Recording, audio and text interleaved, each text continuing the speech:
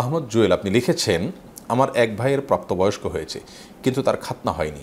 তার কি নামাজ ও দোয়া আল্লাহর কাছে কবুল হবে? খাতনা হয়নি। প্রাপ্তবয়স্ক হওয়ার পরও খাতনা করার বিষয়ে হাদিস রয়েছে। অতএব খাতনা যদি না হয়ে থাকে, তার খাতনার ব্যবস্থা করা উচিত। যদিও এক্ষেত্রে ফোকা একরাবের ভিন্ন মতো আছে। আর খাতনা হয়নি, এর মানে তার সালা দোয়া কিছু কবুল হবে না, ব্যাপারটা সেরকম নয়। তবে একটা গুরুত্বপূর্ণ সুন্না, সুনানুল ফিতরা, প্রকৃতিগত সুন্না তিনি তরক করছেন। সেজন্য এটি তার উচিত নয়। এতে শামুল হক এডি থেকে আপনি লিখেছেন, মসজিদের জমাকৃত টাকা খরচ করে আবার জমা দিয়ে দিলে কি গুণা হবে?